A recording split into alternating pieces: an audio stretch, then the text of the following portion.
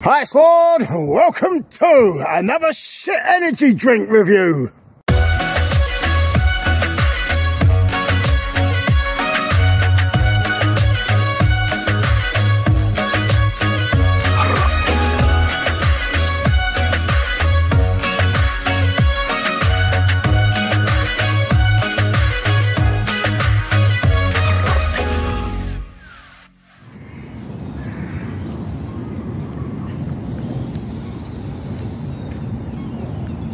So I found this today. It's the Green Hell energy drink from Lebro or Libro, whichever way you pronounce it. This falls into the unwanted category of one of the most cheapest energy drinks I've ever bought. This was 49 pence and no, it weren't on offer.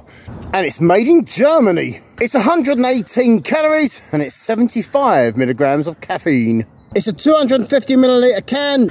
I've never had this before and I've never wanted to have this before. I just can't stop myself. Let's find out what this is all about. I do like the little green tab. And the design itself ain't bad. It's kind of like a dragon and a mermaid at the same time. Oh, you just know, don't you? You just fucking know what this is going to taste like. Yep, it's piss colour. That's not a good sign. Yep. Might as well just tip it on the floor right now and go home because this ain't going to score more than a one.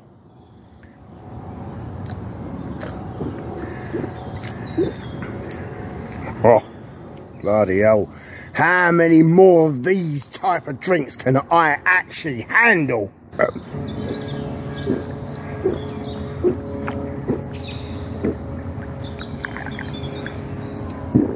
Boring!